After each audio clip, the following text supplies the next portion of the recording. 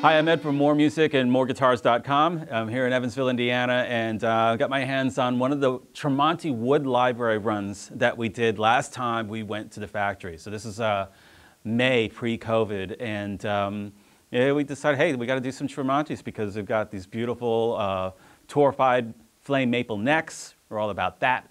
We said yes.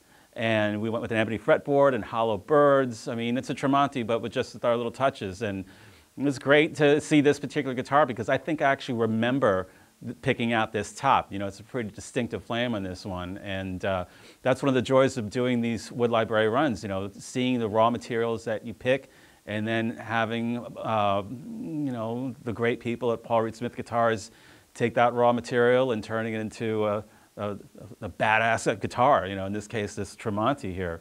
Um, by far one of my favorite signature model guitars to play. I've always said that a lot of times signature model guitars have something quirky that's particular to that one guy whose signature is on the headstock. Not so with the Tremonti. I mean, this is an everyman player's guitar, and it's fun.